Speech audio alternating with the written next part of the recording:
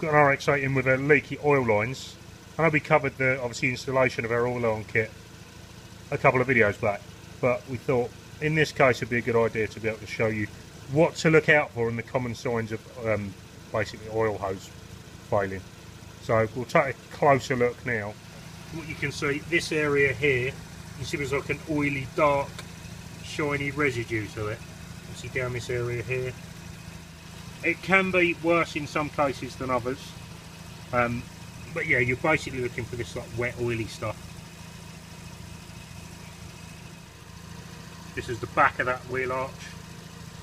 You can see where there's a basically an oil spray, which is where the in a lot of cases what's been picked up from the tyre and then splashed over.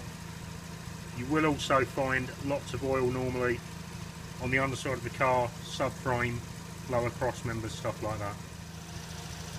So we've also got oil down here in these areas, the lower subframe. see there's a little bit on the lower control arm. You see where the subframe is quite oily as well. This is all common signs of oil cooler hose failure on the RX-8. Okay, I've removed the lower wheel arch liner on the passenger side of the RX-8 UK car, so we're talking left hand side. You can see where there's this big oily residue, obviously on the inside of the wheel arch liner. You'll be able to see in a moment once we've um, once we get a shot of that. You'll be able to see where where the source of the actual oil is coming from. Okay, so we've got the arch liner off. You can see this is the the cause of the oil. This lower connector here. This is normally, this will be the one that goes to the front of the, the engine block.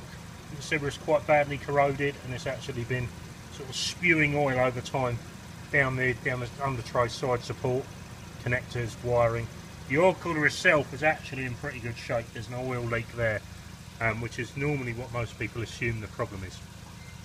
And in a second, you'll be able to see much closer what the problem is. It is seeping out slowly but this is not the worst failure we've actually seen.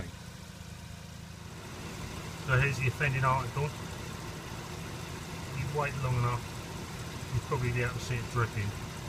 Quite clear that it's, it is actually bubbling out there as well in some cases. It's in a bad state, unfortunately.